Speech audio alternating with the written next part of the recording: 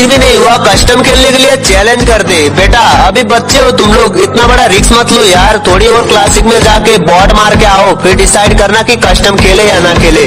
bot मारने की ताकत नहीं होती साले रियल बंदे को मारने के लिए सोचते है यार चिप हो